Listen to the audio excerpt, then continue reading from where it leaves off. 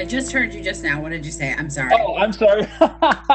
so I before I start talking, I am going to let you go ahead and introduce yourself um, because I am going to be spending the rest of the time probably chit chatting, and obviously Becky will be chiming in too. Um, I'm not saying that she's not going to talk, but I'll let her go ahead and introduce herself. So go ahead, Becky. Yeah, that was really weird, Jeremy. Your like voice disappeared, and I was kind of like, did I like accidentally turn off my volume on this somehow? And I was trying to figure that out. Um, no, but I can hear you now. So, okay, my name is Becky Schwartz. I teach at um, Springport High School in Springport, Michigan, which is on the kind of western edge of Jackson County. Um, I teach ELA and uh, computer science. I also teach some social studies, but this year I am teaching um, English 10 and 11, both um, virtually and face to face at the same time. It is it is a fun time all abound. Um, tonight I'm going to be moderating the chat uh, for you. So if you have any technical difficulties or if you have any questions, um, you can post them in the chat or you can send them to me. I'll also be dropping links in the chat as Jeremy needs to. And again, if you uh, need anything in the chat, let me know. Um, but yeah, really excited uh, for to learn more about HyperDocs with Jeremy tonight. Thank you so much, Becky. And as Becky said, we're going to be talking about HyperDocs tonight. And by no means, I want to. I'm going to throw out the disclaimer. Am I an expert in HyperDocs? I really want to give um, a big shout out to uh, Lisa Highfill, Kelly Hilton, and Sarah Landon uh, for all of their Landis for all of their work that they have done with the HyperDoc. If you have not invested in the HyperDoc handbook, I would uh, highly recommend uh, investing in it because it is awesome. Uh, and it definitely helps. And not only that, but there is a HyperDoc website, which we are going to be taking a look at tonight uh, and will definitely be beneficial for you. Um, Becky just popped the slides into uh, the chat again, so feel free to follow along. I'm going to leave my, right now I'm sharing my screen, and right now what I'm going to do is leave my screen the way that it is because I think it's better to just follow along and better for me to kind of go from there. Um, the first thing that I uh, want to say is that um, we are um, coming to you from the Chippewa River Writing Project, and um, this is a site of the National Writing Project, and we are located at Central Michigan University. Um, and our site is supported only through grants and professional development work that we do through schools or regional RESDs, okay, and uh, teacher consultants that are involved in the 2022-2021 series. Uh, we are donating our time and all of the things that we do. Really, we do do donate our time uh, we put in a lot of time to this, and it's not a thing where I'm like pleading with you, but um, but we do put in a lot of time and energy, and we just want to say thank you for all the people. Um, really, I know Becky and I would really like to thank the people that are going to be presenting through this series because we have some awesome people uh, speaking, and I'm not talking about me. I'm talking about the other people that are going to be speaking through this series that are really great. Um, if you appreciate the ideas that uh, we are giving you, um, we would definitely like you to support our work, and you can do that through giving.cmich.edu, um, and then you just select the Michigan, or the Chippewa River Writing Project. And if you're interested in having us work with your school or district, you can contact um, Dr. Troy Hicks. Uh, you've heard him talk talking early on. Um, he is our director of the Chippewa River Writing Project, and he can help you in terms of determining what is best for your uh, site or your district. And you can find out more information about CRWP at Chippewa River wp.org. So, with that being said, I'm going to kick off and talk to you about who I am. Well, I am a middle school teacher, um, and I currently teach sixth grade English, seventh grade science, and um, I got to choose what my uh, my exploratory class is, and I'm teaching a class called Media Literacies, and it has been a fantastic ride so far. Um, and I wish I had time to just talk about that, but um, it's been a really positive year, and I'm I'm teaching like how Becky's teaching, um, teaching face to face, and I have some remote students as well, and so they chime in, and I'm doing synchronous, so they have to be in my class at the same time that I'm teaching. And I tell you what, some of those little lovelies don't want to be there at eight o'clock in the morning, so it's kind of fun to watch them. You know, uh, crawl out of bed. So, um, but uh, I'm also a teaching consultant uh, for the Chippewa River Writing Project. Um, I've been uh, the privilege had the privilege of working with NCTE um, as a community ambassador, and then um, also for the last two years, I've had a wonderful opportunity to work with KQED. Um, out of uh, as a media literacy innovator, and that has been fantastic experience. And um, uh, there's lots of different things through um, KQED that are great resources for you to use in your cl- uh, classroom. Okay? Um, you can find me on Twitter at Jeremy Baller. I know Becky um, has her um, uh, has a Twitter account too because I follow her. She does some great work. Um, and I think Becky, am I right? You're going to be presenting on your digital writers notebooks in this series. Am I right in saying that? Yes, I am. Um, I believe my date is in December. Um, so I'll be presenting on digital writers notebooks and how to uh, capture some of that magic uh, in this weird time of where you may not be with your students all the time and they're working maybe asynchronously. And uh, how do you guide them um, and give them direction and also but give them the freedom of a writer's notebook? Yeah, and it's awesome. And I've actually adapted the things that Becky is has uh, presented. She presented in the summer in my classroom, so I highly recommend that one. And you can also contact me through email as well. So thank you, Becky, for putting your uh, Twitter handle in there. So let's keep moving along. Um, looking at this session, we're going to explore how HyperDocs can be utilized and modeled for students.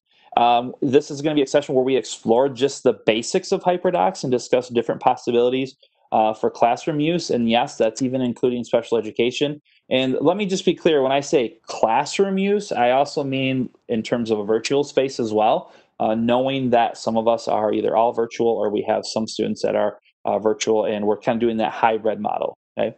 Um, so, um, some ISTE standards. Um, just kind of want to um, acknowledge ISTE standards for teachers. I'm not going to go through and reading those, but really, when we're talking about HyperDocs, um, yes, you won't be able to see me right now. So I do have my camera turned off, just trying to preserve some bandwidth there. Um, but uh, the learner, the designer, and the facilitator, you can read through those those ISTE standards. They're um, great standards to follow. Some other standards that you could be looking at too uh, are things like Common Core. Um, and so that's also some uh, places you could look for standards to adapt uh, those uh, HyperDoc, uh, the HyperDoc usage. So let's go ahead and dive right in. Let's talk about HyperDocs. What is a HyperDoc? Well, first of all, HyperDoc is really a digital lesson plan. And it can also be a digital, not just a digital lesson plan, but it can be a digital uh, lesson plan or a digital uh, unit as well. Um, and it can be a Google Doc or it could be on slides as well too. I've seen HyperDocs used on uh, not only Google Docs but also on SlideWorks, and so you could use both spaces. Um, some people ask, well, can you use it on something like Microsoft Word?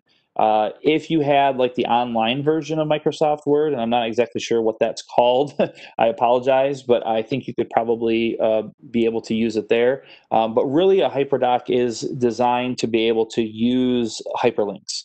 Um, and it, it is a central location where learners can find that information.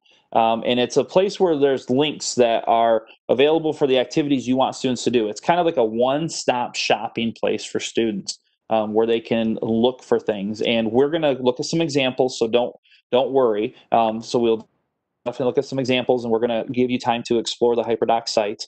Um, it, what it is is that it is adaptable. Um, I find HyperDocs are very adaptable, not only in terms of going from like class to class, but they're also adaptable really on the fly. Uh, what worked what, what worked really well for one class or maybe one group of students that you're using this for may not work for another group, and you may have to change a link, and you can change those links fairly quickly. Um, and it's innovative. Uh, we are in a time of innovation. And so, why not use something that can be very innovative and very helpful uh, for our students and also helpful for us as well? So, what is not a HyperDoc? Well, it's not an easy solution to online learning. And I know that in this day that we might be looking for those things, but we don't have an easy solution for online learning. Uh, and if you have that magic pill, please let us know so that we can have a conversation with you. Um, and it is not a way to keep students busy either. Yes, it will keep students busy, but that's not the main goal of a HyperDoc. Um, as we go through this evening, you'll see some of those things in terms of why it's keeping students busy. Um, it's really not an off uh, an offline option um, because you do need those hyperlinks uh, to be able to direct students to different places, um, and it's not difficult. So a HyperDoc is definitely not difficult for uh, a beginning user. Um, I will say that there is some front loading that does need to be done with HyperDocs, and so that could be a little time consuming, but it's not difficult to use by any stretch of the imagination. So um, the next thing that I want to talk about is just those basic elements of a hyperdoc, and you're going to see those um, when we go with our next the next slide that I use uh, or that I have here with exploring hyperdocs as we go through some of them. But um, there's there's a, some kind of subcategories that uh, the the co-authors have kind of uh, basically narrowed down, and that's to engage, explore, explain, apply, reflect, and extend. Um, these main areas are really helping students uh, to be able to go out and do some more um, exploring on their own, especially that extend part. Um, I really think a, a lot about um, some work um, that uh, some colleagues here in Michigan have done um, with the extending part and uh, really can help our students extend their learning and the reflection part too. That's what I really like about HyperDocs is that really does allow our students to reflect.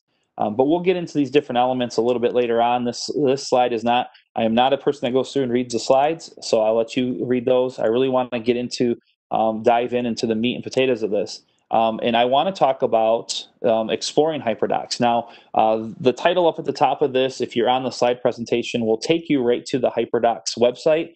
And I'm just going to click over to that right now. So my computer will take a minute uh, to click over to this. This is hyperdocs.co. Um, and Becky, if you could drop that link also into the chat, that would be fantastic.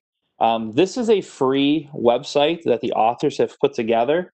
Um, there is information here that is very abundant. And what I mean by that is this website, you can easily, easily fall into the rabbit hole of just exploring this website over and over and over because there is so many great resources here. Uh, they do offer some courses on HyperDocs, uh, some paid courses. They do have a HyperDocs boot camp that you could enroll in uh, to become that um, expert in HyperDocs. Uh, but there's also some information about the book. Um, the the media tab that is right up here. Um, they have been featured. HyperDocs have been featured on uh, Jennifer Gonzalez's Cult of Pedagogy. Great podcast uh, overall, but really a great podcast. This episode of HyperDocs was really a great podcast too, as uh, Jennifer interviewed the authors of HyperDocs. Um, so I encourage you to do that. Um, but uh, if you look here where it says find, underneath the tab where it says find, it says templates, samples, and then there's HyperDocs. And so I can actually go in and I can click on this and I can see lots of different templates that can be used in HyperDocs. And so I'm not going to go down the rabbit hole and click on any of these. Um, I'm going to allow you to do that um, uh, when you um, are uh, getting some time to play around. But again, that is on the HyperDocs website. Uh, it's underneath Find, and hopefully you can see my um, my cursor and where I'm going. Um, and um, I'm just going down here. You can do some basic HyperDoc lessons. There are some creative writing. There's some ThingLink animal report uh, HyperDocs. There are some 5Es, and then the explore, explain, apply. And we're going to get into those ones. You can do some on respiration and photosynthesis. Um, so I apologize if you're having some difficulty with that. Um, so here you can see that there are lots of different. Um, all right, so Carol saying she can see it. Thank you, Carol. Um, and then also uh, underneath find, if you click on samples, there are some samples of hyperdocs as well. And you can see that they have them uh, kind of ca- categorized. Okay.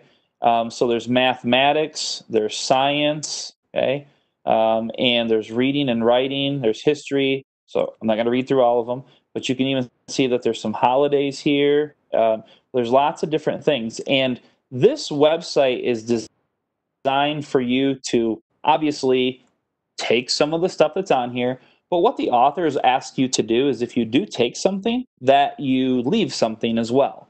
Um, so um, I would highly recommend that if you do take something off from this website, that you take a few moments and that you actually um, uh, leave uh, something that you've done. So if you take a template and you create a template, then go ahead and, and leave what you did, and then that way you can help guide other teachers. It's free to sign up for the website, as you can see. Um, it's it takes virtually minutes to um, to sign up, and then uh, you get all of these great things, and then also you will get emails from them when they are having some of those paid courses as well. Um, so before we go any further and I walk you through an example of a HyperDoc, um, so that way you kind of get a feel for them, I'm going to let you, I'm going to give you like five minutes to go ahead and just play around with the site and to explore the site. Again, that's hyperdocs.co um, that you can go to. Um, and then I'll call you back here uh, in about five minutes. So we're looking at, it's it says 719 on my clock, so about 724, 725. Um, so take a few minutes and play around with HyperDocs uh, website. Um, again, you might get sucked into the rabbit hole, but uh, I'm going to let you at least take five minutes to get sucked into that rabbit hole. Okay, so hopefully you had a chance to look at the website a little bit, and hopefully I can pull you out of that rabbit hole and you can come back a little bit um, with us and uh, take a look at a couple of templates. And you'll see here on the slide that I have some visuals of those templates. I'm going to drop the link in there, and because you can find these templates, and I didn't put a link on the slide because you can find these templates in our, our in the HyperDoc website, but I'm going to drop that in there anyways. Um, this is the first one. This is the basic one, and this is the one that I like the most because it really does. It's it's basic and it helps me in terms of what I'm trying to formulate for my students. And so it goes through those different uh, subsections that the author is or the authors have talked about, uh, which is engage. And this is kind of like that that moment where you're trying to that section that you want to try to get your students uh, kind of capture their attention. That hook um, is what I what I always tell people. Um, you know, in terms of almost like a story, you're trying to get them hooked into what it is that you're doing. Uh, oftentimes, that engaging part could be something like a, a, a reading piece that you do, or it could be something along the lines of a video. Um, and you'll see uh, what I what I've done in my example that I show you here in just a little bit. Um, but this is the area where you would want to think about how am I going to get my students' attention? How am I going to get them to focus on this particular topic? Um, and then the explore part of that is where you might have them doing some uh, reading and maybe even watching of videos. Um, I like how they included the term infographics. You might have them doing some reading off from an infographics, but you're really having them explore the topic and you're really having them kind of just synthesize and think about, reflect back a little bit on and, and, all the things that they're doing in this explore section. So you really want them to try to get a base knowledge of whatever the topic that you're choosing to use. And then the other part that goes into this is this explain part. Um, with uh, you would use this part of the hyperdoc to explain what it is that you want them to do. What is your main objective that you're trying to get across to the students. And what that is whether you are delivering a hyperdoc to each individual student that's the same or maybe you have groups of students and you're giving each of those groups a hyperdoc to work off from and then you can create an assignment for them to apply what they've learned and that assignment could be something um, where you're using they're using certain web tools maybe they're just using something like a google document or they're collaborating on. Um, maybe it's something where you have them using a web tool um, that is uh, something like um, Flipgrid, where they're recording a video and they're doing that outside of school, or they could be doing it inside of school too. Um, but wherever that is that you want them to apply what they've learned within that particular topic. And then there's this idea of sharing, um, where you're collecting all the students' uh, work and then you're giving them feedback and you're um, in, including any kind of um, sharing that you might do with the students in terms of other students' work um, so you're giving them that that authentic audience in terms of the work is going out to not just you as the teacher, but their work could be going out to um, many people on the internet for a blog. It could be going out to their classmates. So there's an opportunity here to do that. And then obviously, like I was mentioning earlier, the reflecting and the extending pieces are huge for me uh, because you could have um, the students do some reflecting on what they learned. And this could be a one on one conversation that you have over a Zoom meeting or a Google Meet meeting um, with your students if you're virtual. Um, and even if you're not virtual and you're face to face, you could still do some reflection pieces with your students. And then again, asking the students to go on and be and inquire about this so more inquiry have them explore the topic further and what did they learn more about the topic and you want to try to create a lesson within the hyperdoc that's going to get them to want to go out on their own and to do more out on their own um, and so you'll see some of that in what i'm doing um, and then um, another potential um, uh, template that is easy to use and i'm going to drop in here um, in the in the chat. I'm going to drop the link to this. Um, but uh, what you can do is kind of similar to what I just showed you. It's a little bit of a different format that you could do. Uh, but here is the link to this one. And um, again, this is a, a, little bit different because the engaging part might be like a whole group activity that you're having them do to get them engaged. Um, and then you can see some um, different things here. I'm not going to go through and read each section, but you can see that there's a different setup. And again, these are both done on a Google document, but if you are exploring the HyperDocs website, you will see that there are many teachers that do it on a Google slide. Um, and I think that's just, that works just as well uh, there too. So what I would like to be able to show you next, going through my presentation, is I would like to show you two different examples. One example is something that I created last spring uh, for my sixth graders, and it is dealing with um, combining sentences with the most dangerous game. And uh, you can click on, if you're in the presentation, you can click on the links down at the bottom of the screenshots. And then this other one here on the right hand side is one that um, we actually put, to, I put together with my colleague um, that works uh, closely with Troy, and also um, we work with on Beaver Island. But um, I worked with uh, William Pengel on creating one for some adult learners. But this could also be something for high schoolers, and you can adapt it to middle schoolers uh, as well. So I'm going to click on my HyperDoc first um, and show you what I created. And this gets this was able to get distributed to my students. And so I changed the title up a little bit and said start your engines. And so I had them go out and watch a video. It's the Quibi uh, version of the most dangerous game, so a very updated version of the most dangerous game uh, to hook them to get their it's that attention getter. Um, and then um, what I put here in the comment section is because I didn't want to put links to where my students were doing work. Um, so I just put in here, like add the link here. So they would have a link and then they would have to answer a writing prompt on a shared Google document. And I want that to be a shared space because I want them to be able to see other people's responses. Um, and so there, uh, that that uh, writing prompt is dealing with describing a time when they were involved in activity. It wasn't what you thought it was um, especially after they watched this video in terms of trying to uh, this guy trying to outrun people that are going to kill him. Um, and then I asked my students to respond to at least one classmate in that Google Doc. So that kind of gets them started. And then um, I asked them to explore something for me, and I want them, and I asked them when I asked them to explore, I asked them to think about it. So I want them to think about what is a simple sentence, what is a compound sentence, and this is a this is a lesson that they are doing later on in the year doing this last spring uh, in a remote setting because of COVID. Uh, but here is a an example of um, what I want my students to think about: simple, compound, complex sentences, and then the question of why do they think authors use those different types of sentences? So really getting them to think about why why do we have to know these different types? What's so important about them? And then I asked them to write a response in their online interactive notebook um, and this is something this year that they're actually doing their OnLive interactive notebook in their Google Slides, thanks to Becky and to another one of our writing project colleagues that does this as well um, in terms of using Google Slides. And so again, I just said you would drop a link here. And then I left these links in here because these are links. Um, I use a program called Grammarflip with my with my students, um, and so they would go into Grammarflip and they would complete this lesson. So it's a link to the Grammarflip website.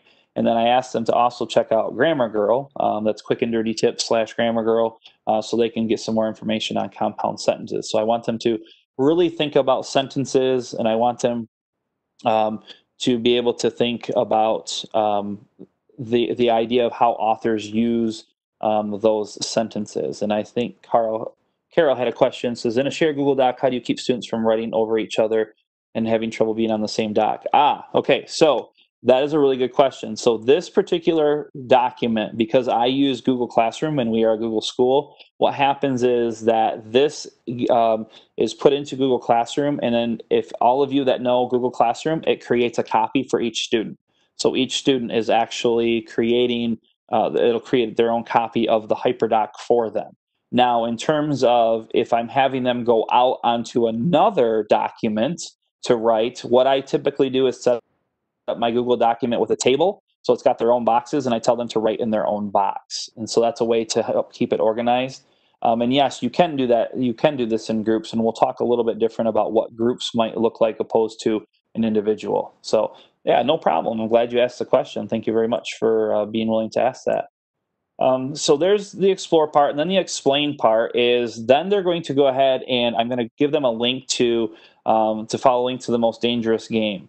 And there's a couple different ways that you could do this. Um, one is that you can go out because it's um, public domain. You can go out um, and find the most dangerous game, and you can actually um, have them read it, um, so without having to purchase it. And then there's another way that you could actually have them go to like a YouTube um, if you're adapting this to a special education class or to students that might need something read to them. You could uh, have a link to a YouTube um, uh, video or YouTube audio where it's it's reading it for them. Um, so, but I asked them to be able to read that, and then as they're thinking about their reading, um, they would go on to back to that shared Google document, um, and, and then they're going to think about the moves that the author made with the different types of sentences. So I'm I'm trying to tie it back into why and have them apply the lessons that they learned in Grammar Flip to what it is that they're reading in class. Um, and so then, as they're getting all that done, and this isn't something that's done in one day, this would be something that would probably take them two or three days to go through, um, and then have them apply what they've learned and have them do a flip grid. And again, you would add the link here where I said add a link, and then in their recording, you can see that I would have them uh, discuss their thoughts about the story, what really shocked or surprised them, um, what were some racial inequalities that exist story, and does this have a place in literature today, and to explain your thinking. Um, so there's a way for them to apply what it is that they just got done reading up here. And then going down to the share part, this is where they would write a one-page story that is basically an introduction uh, to a, a, story that mirrors the most dangerous game. So trying to get them to kind of mimic what was done uh, in that story. And so there's some things that they have to include. And you'll notice down here that I have them include the different types of sentences. And then they have a shared folder. This would be a link here. They have a shared folder that they would throw that into. But I'm trying to get them to apply what they learned uh, throughout this lesson. And then there's some reflecting stuff, reflecting options here uh, for them. And I want them to create a Google slide deck so they can reflect on what they have done, or they can respond to two other classmates on Flipgrid um, by Thursday with those Flipgrids that they created. And then extending this, they can go through and they can look at the movie that was from 1932 of the most dangerous game and maybe they could um, share with you what their thoughts were on that and compare it to the quibi a movie that's out now. Um, and then there's a summary of the themes of the most dangerous game. There's a stop motion. There's tons of stop motion lego videos out there on youtube for the most dangerous game. Um, so there's lots of different things that you can add. And i even said what else could you add here um, so please share if you have any other ideas that students could do. So this is sixth grade, um, and you're thinking, wow, isn't that a pretty advanced book for sixth grade? And we do a lot of discuss discussing on it. Um, so, but they they tend to do fairly well with it, and they just kind of. Uh, I think for the most part in the spring when my students did it, they they were more or less just they had a lot of questions and they were really good about um, how things were going along in the plot and in the setting. So but this is one way that you could set up a Google Doc. Um, and, and, so, again, I talked earlier about that um, making sure that you're ready uh, to deliver to students, um, taking the time, uh, that front loading. Um, that there is a lot of front loading that goes into this. I would say that this particular HyperDoc probably created took me a little over an hour to create, if not a little bit longer. Um, I can't pin down the exact time for you. I apologize, but um, and I want to emphasize that do this with every one of your lessons. Um, you know, you do this with maybe some of your big X, or maybe do this with a, a lesson, that other lesson that you want to try um, to kind of figure out. Um, but the possibility um, that you could use with sixth grade. The other link in there, and continue if you have questions, you can drop them in the chat. the other one that we created more for like a high school, more of adult kind of thing. we created this in a uh, professional development that actually Troy was too um, where we were um, trying to get individuals to go and do some work uh, in a virtual setting. Like if we're trying to teach students science at home, what could we have them do? And so doing a hyperdoc is a really great way to try to get them to do some of this stuff. And so we had them engaged. Here's our nice big picture of our cow. Um, so there was an introductory video on invasive species because this is basically what this hyperdoc was about. Um, and then some questions about is a cow an invasive species in Michigan? Why or why not? Um, and then um, we asked them to do some thinking in a Google document. Um, and then think a little bit further about what is an invasive species, giving them a definition, and then also having them go to other places. And I think this is important to kind of cross reference and teaching our students to cross reference and giving them places where there's different definitions and what is the definition of an invasive species by National Geographic opposed to National Wildlife, what, what compares, what contrasts, so things that you can get students to think about. And then there was this explore part, and this was what was really fun, where we put some different uh, pictures of uh, invasive species that are in uh, in Michigan, and then or that are in the United States. And then what we had them do is we had them go out and explore some sites on invasive species. And then they had to go and think about how do we get rid of them. And then they had to also think about, um, we had them go and find invasive species in their own backyards. Um, and it was very easy because we had them use a plant identification app, which is what you see right here. Um, we gave them some different platforms. And so you could do this with students that are at home. You can say, all right, um, so here are some plant identification apps, whether you have an Apple or an Android. Uh, so you can go out and you can do um, do some plant identification, and then we ask them to report back the next day. Um, and I'm not going to go through and read all this, but um, so we created a Padlet wall for them to share, um, or they could use Google Sheets to organize their data and try to figure out how their data and this was a this was a the learning was in the struggle at this point. point and this is something that we do every year with our participants at beaver island but this is something you can do with your students too to try to get them to understand how do they organize data so that the data can tell us the, the appropriate story based on what they found and then we had some reflection questions and, and then we just extended it by having them think about what are some aquatic invasive species in michigan um, so what's the michigan invasive species for plants uh, what's what are all the invasive species in just the Great Lakes, and so lots of different places where students could extend their learning. And in this case, it was our our adult learners where they could go and they could learn some more things about invasive species. So, uh, kind of similar to the sixth grade one, but there were some different activities that they could participate in uh, for this. Uh, so, I'm going to take a minute because I've been talking a lot. Um, yeah, the, the learning is in the struggle. So, absolutely. Um, and I actually got that from Dr. Hicks, so I can't take credit for that one. So I don't know where it originated from. Um, but I'll take a pause here for a moment. Does anybody have any questions um, about the examples that I showed or just in general hyperdocs? Um, my plan was for you tonight to see the scaffolding that takes place in terms, you know, I wanted you to see examples, wanted you to play around the website, and then little things. So um, so I just wanted to make sure that you were able to uh, answer any, or we can answer any questions that you have. Okay, so I like these lessons allow students to learn more independently, but they also students collaborate great first. Yes, absolutely. Um, and that's one thing we didn't, I haven't really addressed yet is this collaboration. So yeah, you can definitely have students do it individually, but then what's, what's really great about HyperDocs is that you could create um, virtually, let's say you have five groups in your classroom, you could really push it out so that uh, the HyperDoc is different for each one of those groups if they're exploring a different topic together and collaborating on. Um, and so that's one of the differences that you can make in terms of interchanging those links. Um, and what I was trying to say earlier um, is with special education is I really think this is adaptable to special education because um, you can link to audio that students need to have things read to them. Um, you can adapt it in terms of if they are supposed to have reduced assignments or they're supposed to have extra time. Um, so this would allow those different accommodations that you would need for those students. And that's what I really like about HyperDocs too. And again, it's that one place where everything is at. And I know, at least with the experience in the last two to three weeks with my sixth graders, they are really trying to keep all of the balls up in the air in terms of the juggling of the different Google classrooms that they have. And so this is one of those things where it would be really easy where you could, if they're asking you a question about, well, where do I find this? Well, go over there and find it.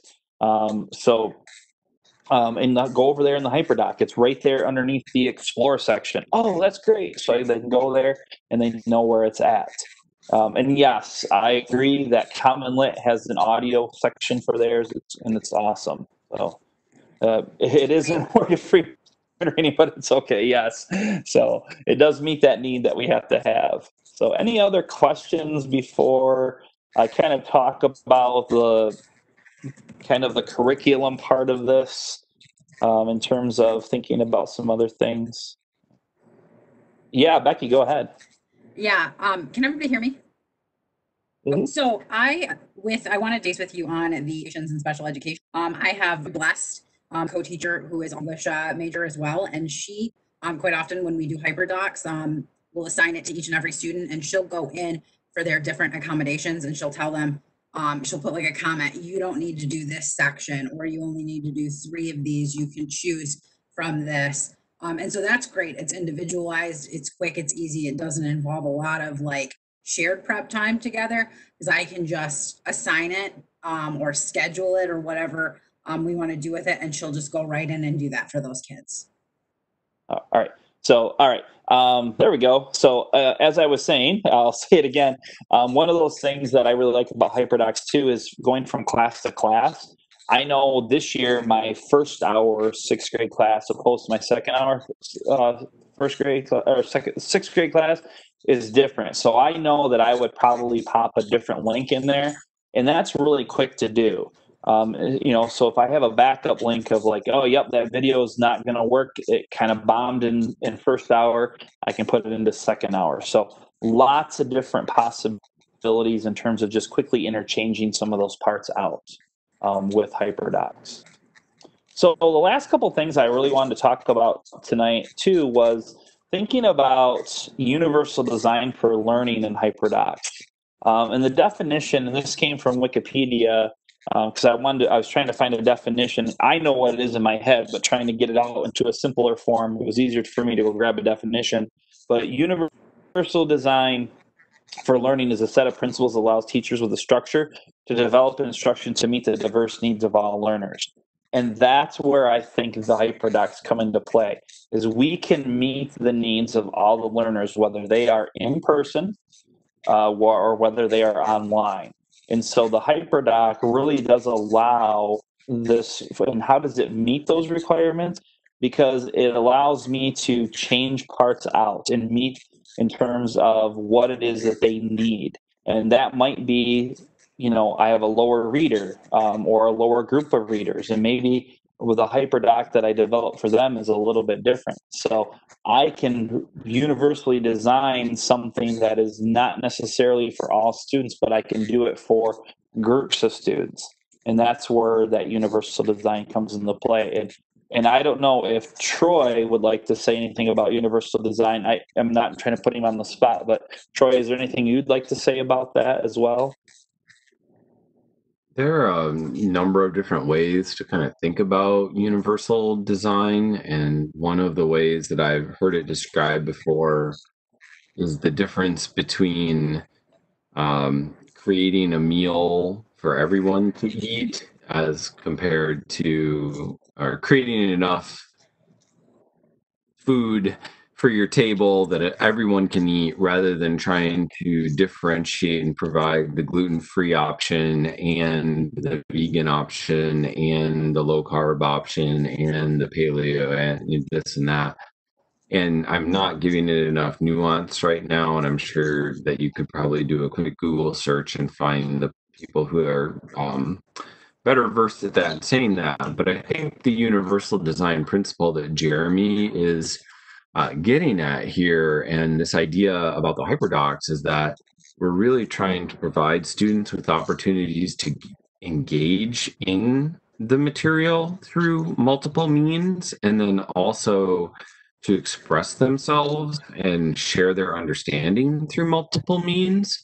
And uh, depending on exactly what, what you choose to do with your hyperdoc and the types of opportunities that you have students create, um, you know, there are times where we want them to write a paragraph or to write an essay, but maybe there are times where it's okay for them to create uh, an infographic or record a podcast or record a short screencast or video. And I think that when we get more and more into that mindset and we give them some choices, um, that can be really powerful. So that's kind of the way I think about it is trying to provide as many options for as many students as possible while still adhering to the the main learning objective uh, that you have.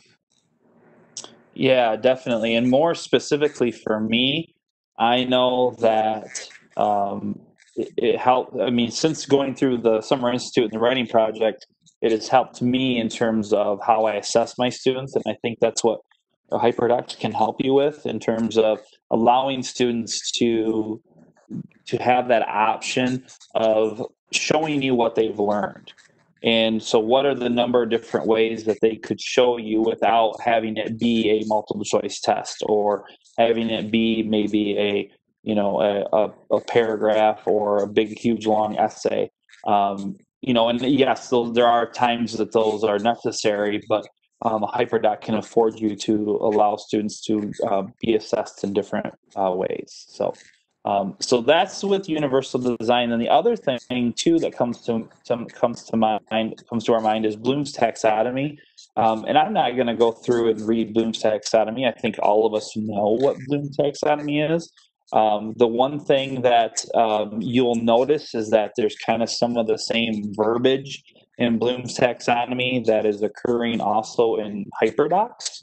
Um, one of the great things that I like about the top of Bloom's taxonomy is that create piece, um, because we as teachers are being creative and we're being innovative in terms of how we're delivering content to students with using a hyperdoc, but also there's the other part of that is that we are allowing students to be creative and to produce some new and original work.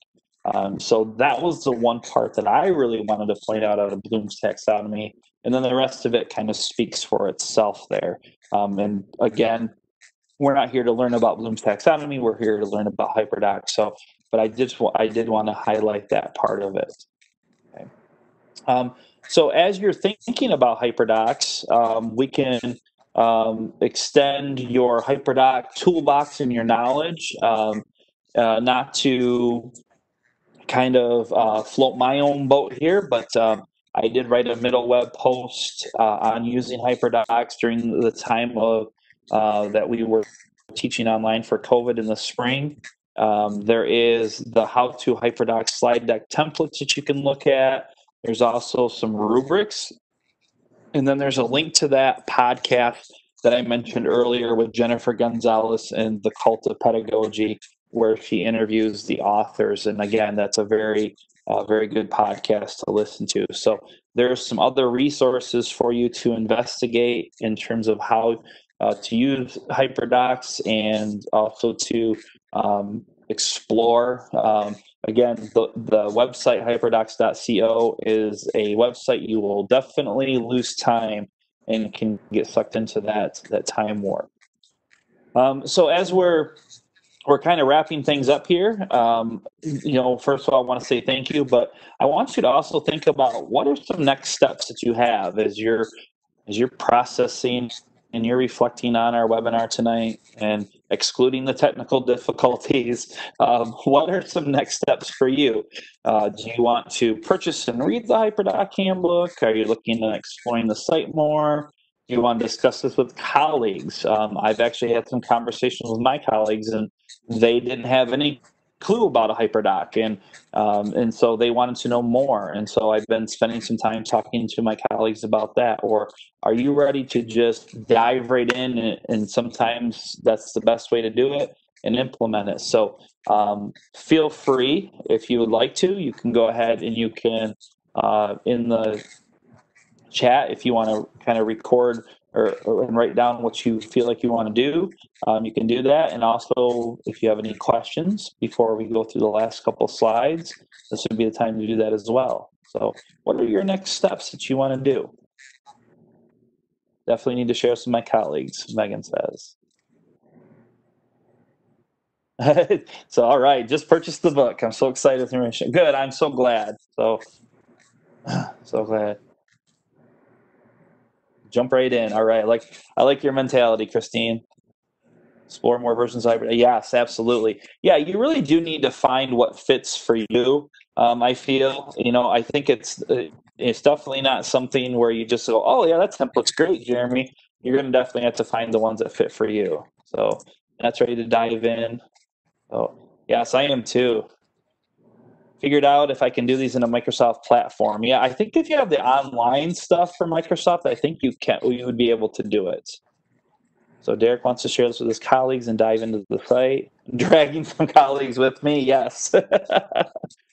oh, oh, okay. So how long would you say it took your class to complete your HyperDoc assignment? So the particular one with the most dangerous game, that took them because it was new, um, new to me. Um, I gave them the week to complete it. Sixth grade, I gave them the week. So one week it took them to complete that. So writing workshop. Oh yeah, I think this would work awesome with writing workshop. So definitely awesome. So good. I'm seeing lots of different ways. Diving in. Bless you. Whoever sneezed. Thinking about synchronous and asynchronous. Yes, absolutely. That's definitely something I have to think about. Is um, you know, for, for the spring, I had synchronous. Obviously, we couldn't require to be synchronous. This can require them to be um, because we are one school and can require them to do that. Um, so it's a little bit story, but yes. Oh yeah, so you might not be able to see. Sorry, Allison. They're probably just coming to me. Yep, set up their blog, HyperDoc. Yeah, absolutely. Be a great way to kind of go by step. And another another layer to add into this too. It's about like going out and videos. So there's a couple things about number one, you could talk to students about fair use laws, copy laws, things like that, things that you're grabbing, that you're using. Talk be a great segue into um, with those things. And then the other the other part about is that uh, you could have them, you know, it's more of a, an instruction you could have them follow uh, with those types of things. HyperDocs can definitely have. Oh, will you share links and recording with that? Yep. So, oh, he will. So awesome. Thank you. So last couple things um, that again not to uh, my own boat here, but uh, I have co-op books with uh, Dr. Um, that are um, and you want to have a conversation with me teaching grammar I mean, and how that works in the crazy COVID world. You know, um, I love love grammar, uh, teaching grammar, especially age, and having some off, uh, conversations with uh, students want to learn grammar. It really is how you approach it with them. I say anybody's doing a bad job, and hey, it is how you. So, um, but you know, some of our books, and you can contact me. I have my, and my Twitter there. Free to follow me on Twitter. Some private mess if you want to have a conversation. Um, and then our next um, or not the next webinar that we have with Dr. He's going to be talking about using breakout rooms with spaces. Um, so uh, looking forward to that on the 20th. And another one more thing, just want to, um, if any of this information was helpful and you feel so inclined to um, donate uh, to our website, um, there's the information on that slide. And, and if you're also interested in us doing any work for your school district or in your region, you can contact Dr. Troy Hicks for that and also find out more information on Chippewa River Writing Project.org. Um, so there's lots of uh, things that we can help you with if you're willing. Um, oh, so Warren says my colleagues were sort of learning towards Google Form drill and kill grammar. Ah, no. so yes, Warren, hit me up. So send me an email. We can talk. so awesome. Thank you everyone so much for uh, attending. It sounds like you got something out of the webinar and that's what my main goal is whenever I present is that you are able to take something away. So that's fantastic. Thank you so much, Jeremy. We really appreciate it. Thanks to all of you for bearing with us. Uh, as I've said many times in the chat, we wanted to use the official university sanctioned web conferencing platform, plus it made the registration process a little bit easier for us. We will reevaluate where we're at for our October webinar series. And yes, I get to be the host for that next one. Thanks to Jeremy and Becky, especially for their coordination of the entire webinar series. And as Jeremy just mentioned, all of our individual presenters throughout the school year. We will have this information up on our website as soon as possible, including a recording, and we'll also follow up with you on email. So thanks so much. We will hang out here for just a few moments after the recording ends. If anyone has any questions, I don't know if you're even able to take your microphone with the settings that our webinar is set up with right now, but if you have other questions, we'll hang out for a few extra minutes. So thanks again, Jeremy. We really appreciate you presenting tonight, sir. So no problems. I want to say thank you to Becky too, because she's an awesome partner to work with, and and Troy's awesome to work with, and actually all writing project people are awesome. If you're not part of the writing project, I highly encourage you to attend some writing project uh, PD or attend a summer institute if you can do it because it is a life changing experience in terms of teaching. So um, join us. So join our club. Come to our side.